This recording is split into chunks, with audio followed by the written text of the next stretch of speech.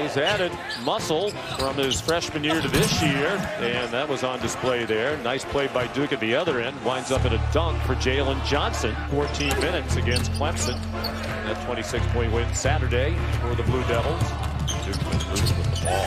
Goldwire had it slip away, and that's Wong attacking the basket again. In fact, that 1-4 set again for Duke. And executed beautifully. Matthew Hurt the dunk. Negotiations would have broken down in my household over the straighten up and make your bed thing. Boy, what a rebound by Nysier Brooks. Paved, paved. Did I did I say paved? No, no, no. I just want to make sure people starting to watch the naked gun if they're trying to. And now Duke's able to put some full court pressure on, and so the tempo is completely different than it was three minutes ago. And Hurt puts Duke back on top with 2.25 to go.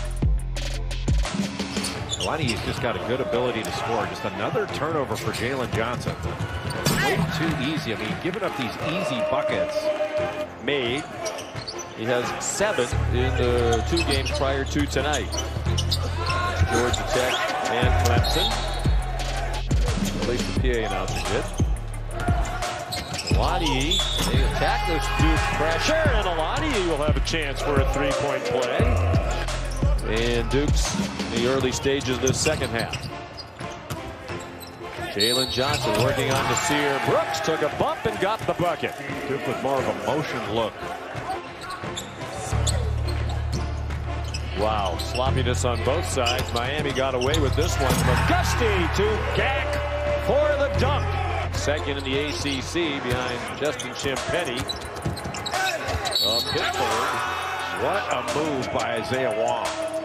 He has a, a couple of fouls to give as well. So you don't want to let Duke, you don't want to foul, but you don't want to let him have anything easy either.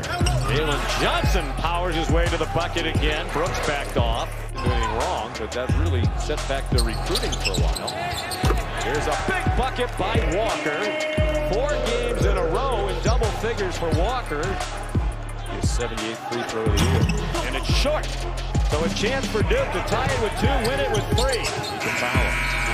At it. the buzzer, and he didn't get it off in time. And that's it.